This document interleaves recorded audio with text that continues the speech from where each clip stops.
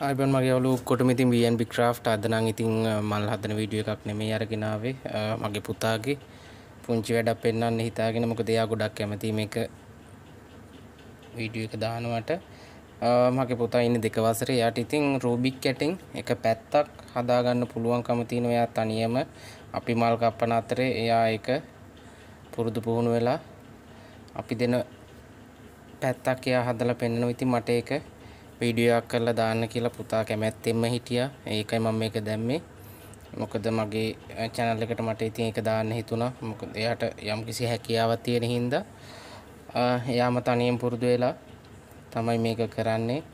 ඉතින් යාළුවනේ මුලින්ම සමාව ඉල්ලනවා මොකද craft channel එකට වෙනම වීඩියෝ එකක් දාන්න වුණාට පුතාගේ කැමැත්තත් අපි අපි දරුවෝ ගැනත් බලන්න ඕන අපේ රස්සාව කරන ගමන් අපේ රැකියාව කරන ගමන්. ඒ හින්දායි මම මේ වීඩියෝ එක දාන්නේ. එයාගේ හැකියාව පෙන්වන්න. ඉතින් මෙන්න මේ විදියට එයා ඒ පෙන්නපු පැත්ත හදලා පෙන්නුවා තාම එක පැත්තයි පුළුවන්. මොකද එයාගේ තනියෙන් තමයි මේ හැමදේම කරගත්තේ.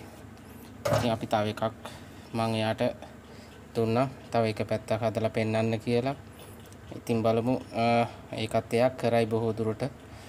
රතු පාට පැත්ත.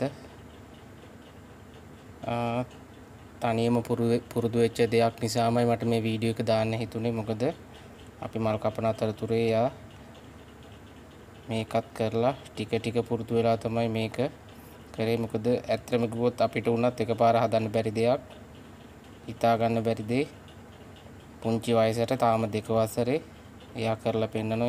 ඒ හින්දායි මම මේ වීඩියෝ එක දාන්න හිතුවේ. යාළුවනේ ඒත් එක්කම අලුත් වීඩියෝ තියෙනවා. රෙසින් සම්බන්ධ වීඩියෝ එකකුත් තියෙනවා මම ඒක ඉස්සරහට අරගෙන එන්නම්. ඉතින් යාළුවනේ ගොඩක් ස්තුතියි මේක බැලුවට පුළුවන් නම් ලයික් කරන්න ෂෙයා කරන්න. ගොඩක් ස්තුතියි මගේ